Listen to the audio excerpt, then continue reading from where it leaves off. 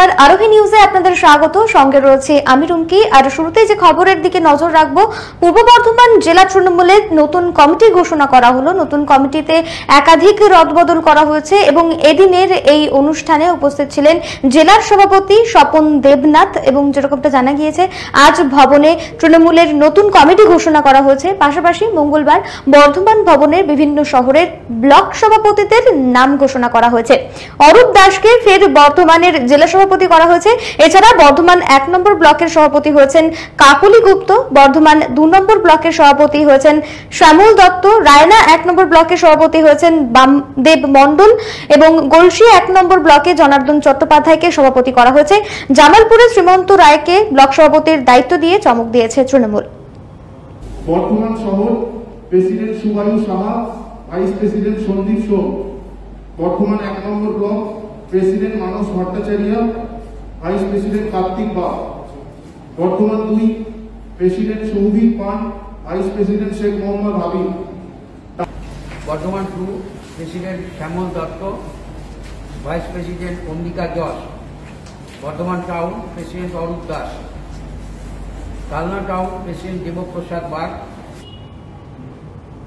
অন্যদিকে পশ্চিম মেদিনীপুর জেলাতেও ব্লক কমিটিতে গঠন করা হয়েছে নতুন করে এবং ব্লক সভাপতি সহ একাধিক পদে রদবদল করা হয়েছে। এদিন একদিন এক বৈঠকের মাধ্যমে এই ঘোষণা করা হয়। ব্লক কমিটিতে একাধিক বদল করা হয়েছে। মোহনপুর ব্লকে সভাপতি ছিলেন প্রদীপ পাত্র। সেখানে দায়িত্ব দেওয়া হয়েছে মানিক মাইতিকে। দাতন এক নম্বর ব্লকের সভাপতি ছিলেন বিক্রম প্রধান। সেখানে দায়িত্ব দেওয়া হয়েছে প্রতুল দাসকে। চন্দ্রকোনা দু নম্বর ব্লকের সভাপতি ছিলেন ছায়া দলুই। সেখানে দায়িত্ব দেওয়া হয়েছে জগজিৎ সরকারকে। অন্যদিকে গড়বেতা তিন নম্বর ব্লকের সভাপতি ছিলেন নিমাই ব্যানার্জি। সেখানে দায়িত্ব দেওয়া হয়েছে রাজীব ঘোষকে। মেদিনীপুর সদর ব্লকে সভাপতি ছিলেন দিলীপ দে। সেখানে দায়িত্ব দেওয়া হয়েছে মুকুল সামন্তকে। মোহনপুর ব্লক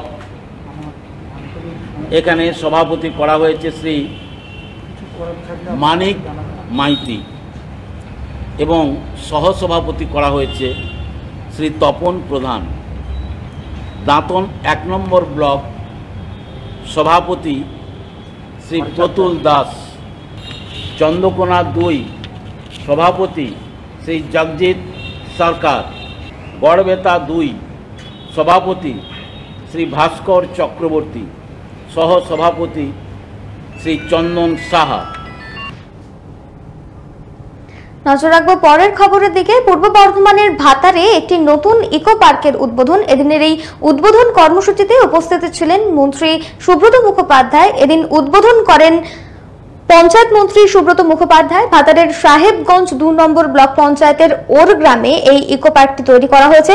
পশ্চিমবঙ্গ সামগ্রিক পঞ্চায়েত উন্নয়ন পর্ষদের উদ্যোগে নির্মিত হয়েছে পার্কটি। উদ্বোধনী অনুষ্ঠানে উপস্থিত ছিলেন পঞ্চায়েত মন্ত্রী ছাড়াও জেলা সভাধিপতি শম্পা ধারা, সহসভাপতি দেবু টুরু, জেলাশাসক বিজয় ভারতী। প্রথম দিনেই পার্কে বেড়াতে আনে আসেন বহু মানুষ। জেলায় সুন্দর বিনোদন পার্ক পেয়ে খুশি স্থানীয় বাসিন্দারা। আমাদের ভাতারে ওরগামে আমাদের সমন্বয়তে আজকে ইকো পার্কের উদ্বোধন হয়েছে। পঞ্চায়েত গ্রামোন্নয়ন দপ্তরের মন্ত্রী আমাদের মাননীয় শ্রী সুব্রত মুখার্জি উপস্থিত হয়েছেন। আজকে আমাদের ইকো পার্ক আজকে চালু হয়েছে এবং সেখানে মাঠ ছাড়া হয়েছে। আগামী দিনে কীভাবে এটাকে আরও মানুষের কাছে তুলে ধরা যায় এবং সমস্ত ক্ষেত্রে ক্ষেত্রে আর কি সব ক্ষেত্রে এসএসজি গ্রুপকে দিয়ে বিভিন্ন প্রোডাক্ট করানো থেকে শুরু করে আগামী দিনে একদম মানুষের এই এলাকার অর্থনৈতিক যাতে অবস্থার পরিবর্তন হয় তার জন্য যা করা রূপান্তরকামী মানুষদের সমান অধিকারের জন্য দীর্ঘদিন ধরে লড়াই চালিয়ে এসেছেন রঞ্জিতা সিনহা। তাই এবার তাকে সংবর্ধনা জানালো ডিভাইন ব্রেথ। অদম্য লড়াই হার না মানা মনোভাব কিছু করে দেখানোর ঐকান্তিক প্রয়াস। শত বাধা অতিক্রান্ত করে সামাজিক বন্ধনে নিবিষ্ট হওয়া। সমাজের পিছিয়ে পড়া বর্গের মানুষের মনে শক্তি যোগানো রূপান্তরকামী মানুষের সম অধিকারের দীর্ঘ আন্দোলনে রঞ্জিতা সিনহা শুধু একটা নাম নয়। রঞ্জিতা সিনহা আন্দোলনের প্রতিভূ। এই মানুষটিকে সংবর্ধনা জানালো ডিভাইন ব্রেথ রঞ্জিতা সিনহা বলেন, এই করোনা পরিস্থিতিতে মানুষের পাশে থাকাটাই এখন সকলের প্রধান কাজ হওয়া উচিত। দেখুন, ভালো লাগছে তো বলব না, কেন কি আমাদের সামাজিক দায়িত্ব প্রত্যেকটা মানুষের আরও বেড়ে গেছে। আর সামনেই আমাদের সারা বছরের যেটা মানুষের আশা দুর্গাপুজো এবং তার মধ্যে এই প্যান্ডেমিক সিচুয়েশন সবটা নিয়েই বলব যে হ্যাঁ আজকে এখানে আসতে পেরে ভালো লাগছে। কিন্তু আমার মনে হয় আরও আমাদের কাজের স্পেসটা বেড়ে গেছে। এখন আমাদেরকে সব দিক থেকে আরও বেশি কাজকে ফোকাস করতে হবে, যাতে কোনো রকমের মানুষের মধ্যে যে প্যান্ডেমিক সিচুয়েশনের মধ্যে আমরা যাচ্ছি, তাদের পাশে গিয়ে যদি আমরা থাকতে পারি, দাঁড়াতে পারি। ডিভাইন ব্রেথের সাধারণ সম্পাদিকা নিহারিকা মুখোপাধ্যায় বলেন, শুধু রূপান্তরকামী মানুষই নয়, সাধারণ মানুষের পাশে দাঁড়িয়ে বুক চিতিয়ে লড়াই করে চলেছেন রঞ্জিতা সিনহা। পাশাপাশি অঙ্কনে শহরের বুকে হাজার হাজার গাছ ভেঙে পড়ে। বৃক্ষরোপণ কর্মসূচি পালন করা হয় এই সংগঠনের পক্ষ থেকে। এটা আমরা ডিভাইন ব্রেথের পক্ষ থেকে, এটা আমাদের পঞ্চম উদ্যোগ বলতে পারেন। আমরা লকডাউনের আগে থেকে কাজ শুরু করেছি। আজকে আমাদের আছে কিছু ছাতা বিতরণ করা হবে এবং বৃক্ষরোপণ কিছু আছে ছোট ছোট বাচ্চাদের দিয়ে। করোনা পরিস্থিতিতে দুস্থ, দরিদ্র মানুষের হাতেও বিভিন্ন সামগ্রী তুলে দেওয়া হয়। রঞ্জিতা সিনহা সহ সকলেই বৃক্ষরোপণেও অংশগ্রহণ করেন। ক্যামেরায় জয়ন্ত দাসের সঙ্গে বিকাশ ঘোষ, আরোহী নিউজ, কলকাতা। সময় বিরতির ফিরছি অন্যান্য খবর নিয়ে সঙ্গে থাকুন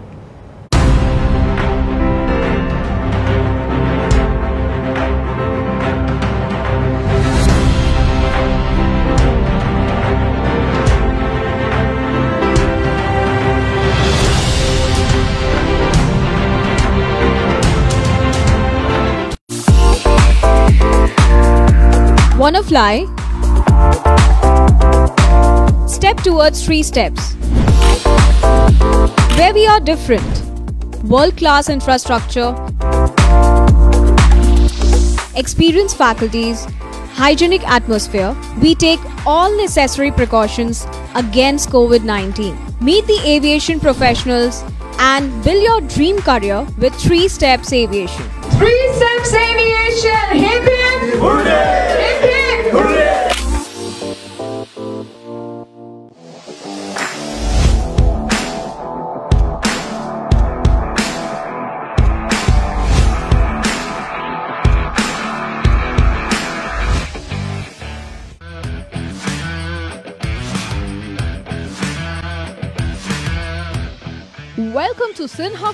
Companies, your genie in a bottle. Career advancement opportunities in aviation and hospitality.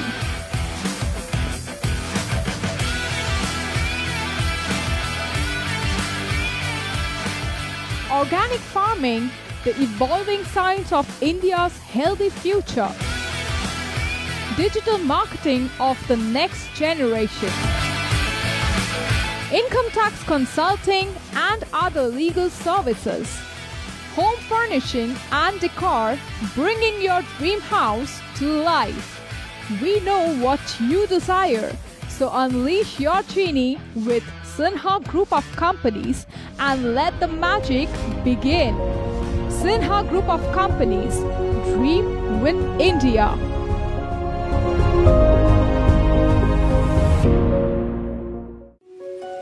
ডাকেই যাকে পাই আরোহী ফাউন্ডেশন একেবারেই তাই। আট থেকে আশির জন্য এক ডাকে সাড়া দেয় আরোহী ফাউন্ডেশন। দুস্থ মানুষের পাশে দাঁড়ানোর জন্য অঙ্গীকারবদ্ধ আরোহী ফাউন্ডেশন। ছাত্রছাত্রীদের সফল ভবিষ্যতের জন্যই নিবেদিত Arohi foundation. Arohi foundation solution for every need. Your bazaar, our bazaar. Welcome to OneStopBazaar.com, where you can get all your necessary stuff, starting from souvenir to t-shirts, shoes, and many more handmade antique stuffs are available just under one roof.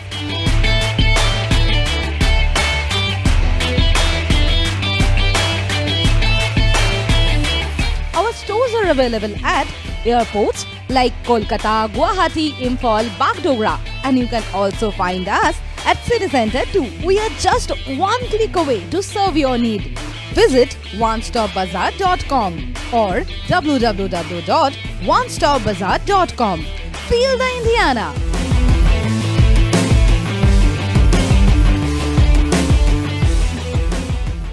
Orin Media and Entertainment, the future of digital news and entertainment world. With evolving trends and rising popularity of the online market, our unique production will tick all the boxes in your playlist.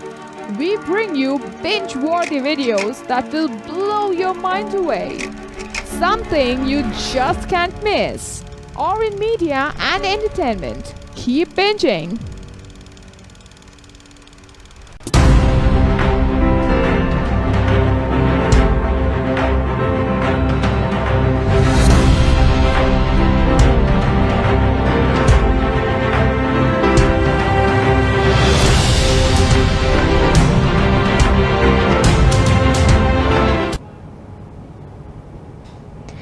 একটানা বৃষ্টিপাত এবং তার জেরেই জলমগ্ন হয়ে পড়েছে আলিপুর দুয়ারের কালচিনি এলাকা।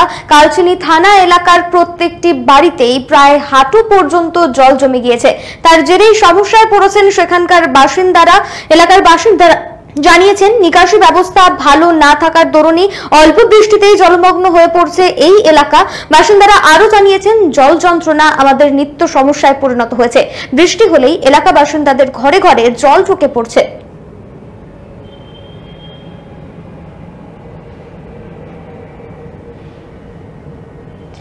এদিন বিক্ষোভ দেখালেন টেট উত্তীর্ণরা। চাকরির দাবিতে বিকাশ ভবনের সামনে এদিন বিক্ষোভ দেখালেন তারা। দীর্ঘদিন ধরে তাদের অভিযোগ রয়েছে, তারা চাকরি পাচ্ছেন না। এবার দ্রুত চাকরির দাবিতে তারা বিক্ষোভ দেখাতে শুরু করেছেন। নিয়োগের দাবিতে বিক্ষোভ দেখালেন টেট উত্তীর্ণ ডিএলডি প্রশিক্ষিতরা এবং যেরকমটা তারা জানিয়েছেন দু হাজার সতেরো সালে ছাব্বিশে অক্টোবর শিক্ষামন্ত্রী জানিয়ে দিয়েছিলেন, পরবর্তীকালে যারা ট্রেনিং নেবেন তারা নিয়োগপত্র পাবেন, নিয়োগপত্র দেবে রাজ্য সরকার। কিন্তু সেই প্রতিশ্রুতি মতো নিয়োগ করা হয়নি, এরকমটাই অভিযোগ করছেন তারা, তাই শিক্ষামন্ত্রীর কাছে তাদের অনুরোধ, প্রতিশ্রুতি মতো দ্রুত প্রাথমিক শিক্ষক পদে নিয়োগ করা হোক। যদি তাদের দাবি মানা না হয়, আগামী দিনে আরও বৃহত্তর আন্দোলনের হুঁশিয়ারি দিয়েছেন বিক্ষোভকারীরা। আমরা পশ্চিমবঙ্গ প্রাথমিক ঐক্য মঞ্চ থেকে এসেছি। আমাদের মূল দাবি হচ্ছে আমরা দু হাজার প্রাথমিক টেট পাস করেছি এবং সেই সময় আমাদের প্রশিক্ষণ ছিল না। দু হাজার সতেরো ছাব্বিশে অক্টোবর শিক্ষামন্ত্রী জানিয়েছিলেন যে পরবর্তীতে যারা ট্রেনিং নেবেন, তারা নিয়োগপত্র পাবে এবং নিয়োগ দেবে রাজ্য সরকার। তারপর দু হাজার সতেরোর নভেম্বরের দু তারিখে নোটিফিকেশান জারি করেন এবং ডিএলএড দু হাজার চোদ্দ ষোলো ব্যাচ এবং পনেরো সতেরো ব্যাচকে রাজ্য সরকার সরাসরি নিয়োগপত্র দেয়। আমরা বর্তমানে পনেরো সতেরো ব্যাচ দু হাজার ষোলো আঠেরো ব্যাচ এবং দু হাজার সতেরো উনিশ ব্যাচ আমরা সম্পূর্ণ প্রশিক্ষিত এবং আমরা প্রত্যেকেই টেট পাস করেছি। প্রায় বারোশো জন প্রার্থী আমরা রয়েছি। তাই শিক্ষামন্ত্রীর কাছে আমাদের করজোড়ে অনুরোধ যে আপনি আপনার প্রতিশ্রুতি মতো আমাদেরকে দ্রুত প্রাথমিক শিক্ষক পদে নিয়োগ করা হোক। করোনা পরিস্থিতির জেরে প্রতিমার চাহিদা নেই। সামান্য কিছু বায়না আসলেও তার বাজেট খুবই কম। সেই কারণেই বিশ্বকর্মা পুজোর আগে মাথায় হাত পড়েছে বালুরঘাটের মৃৎশিল্পীদের। আর মাত্র একদিন পরেই বিশ্বকর্মা পুজো। আর বিশ্বকর্মা পুজো যাওয়া মানেই দুর্গা পুজোর দামামা বেজে যায়। অন্য বছর এই সময় দম ফেলার সময় থাকে না বালুরঘাটের কুমারটুলির মৃৎশিল্পীদের। কিন্তু এবার অফুরন্ত অবসর। করোনা তছনছ করে দিয়েছে তাদের সারা বছরের রুজি রোজগারকে। বিশ্বকর্মা পুজোর ঠাকুর তৈরির বায়না নেই এবছর। যদিও কয়েকটি প্রতিমার বায়না এসেছে তাও অল্প বাজেটের ফলে মাথায় হাত শিল্পীদের। প্রত্যেক বছর অনেক বেশি হয় এই বছরে একদমই কম। নেই বললেই চলে। যে করো- করোনা ভাইরাসের জন্য। প্রত্যেক বছর আমরা এগুলো কাজ করে গোটা বছরের মানে সঞ্চয়টা করি। আর এই বছর এটা কাজ করে আমাদের তো গোটা বছর কেমন করে চলবে সেটাই মানে চিন্তা। প্রতি বছর আমার সঙ্গে পাঁচজন লোক কাজ করত এবার তো কাজের লোক নাই অর্ডারও নাই। করেই সমস্যায় আমরা ছেলে পেলে নিয়ে আমরা আমরা চাইছি সরকার যদি আমাদের প্রতি তাকাতো, সরকার যদি একটু অনুদান কোনো সমস্যা সরকার তো আমাদের প্রতি কোনো ইয়ে নেই, টাকা নেই। প্রতিমার চাহিদা কম থাকায় অর্ডার নেই প্রতিমার মুকুটেরও। সমস্যায় পড়েছেন প্রতিমার গয়না প্রস্তুতকারী শিল্পীরাও। রাজ্য সরকারের কাছে আর্থিক সাহায্যের প্রার্থনা করেছেন তারা। Bureau report, Arohi news. মা দুর্গার সঙ্গে গুটি গুটি পায়ে বিদেশ ভ্রমণ চার ভাই বোনের। কালীঘাটের কুমোরপাড়ার তৈরি প্রতিমা পাড়ি দিচ্ছে সুদূর হংকংয়ে।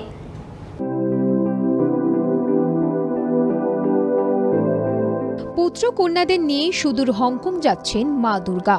তাই একটু আগেই রওনা দিতে হচ্ছে। কলকাতার কালীঘাটের কুমোরপাড়ায় সন্তানদের নিয়ে এখন সেজে গুজে মা তৈরি। জাহাজে চড়ে পাড়ি দেবেন সেই সুদূরে। মা যাচ্ছেন বাপের বাড়ি। কিন্তু যাওয়ার মধ্যে যেন বেদনার সুর। এই প্রতিমা তৈরি করতে করতেই আকস্মিকভাবে মৃত্যু হয় শিল্পী অরুণ পালের। অরুণবাবু ছিলেন ডায়াবেটিসের রোগী।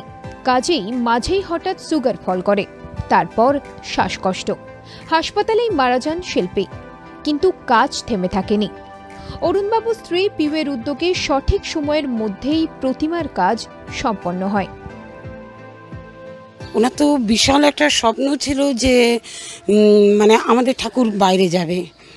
তো এর আগেও আমাদের গেছে, সাতে গেছে, এগারোতে গেছে, ষোলোতে গেছে, এই একই জায়গায় হংকংয়েতে। আর এই লাস্ট টাইম কুড়িতে যাচ্ছে। তার আগে আমাদের দু হাজার আঠেরোতে গেছে জার্মানিতে, আমাদের সরস্বতী ঠাকুর গেছে। কিন্তু হংকংয়ে আমাদের কন্টিনিউ চার বছর পর পর যাচ্ছে। মায়ের সঙ্গে কাজের সহযোগিতা করে দুই ছেলেও। অসমাপ্ত কাজ শেষ করতেই হবে। এরপর প্রতিমা তৈরির কাজে হাত লাগান অরুণবাবুর সহধর্মিনী নিজেই। অরুণবাবুর ছবি সামনে রেখেই এগিয়ে চলে কাজ। এবার সম্পূর্ণ হয়েছে প্রতিমা তৈরির কাজ। প্রতিমার সামনেই জলজল করছে অরুণবাবুর ছবি। এখন শুধু অপেক্ষা হংকং যাত্রার। ক্যামেরায় জয়ন্ত দাসের সঙ্গে বিকাশ ঘোষ, আরোহী নিউজ, কলকাতা। আপাতত এই পর্যন্তই। অন্যান্য সব খবরের জন্য নজর রাখুন আরোহী নিউজে।